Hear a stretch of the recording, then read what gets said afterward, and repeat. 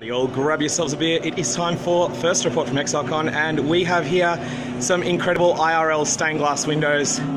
If you like the Sin and Innocence theme in Act 5, they've got it here.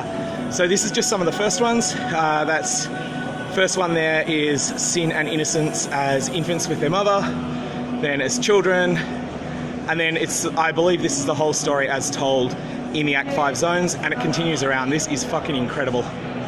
Anyways, I'm just going to put this on up quickly and then more later. Also going to try and get a sing-along of Sister Cassia on the main floor. We'll see if that happens.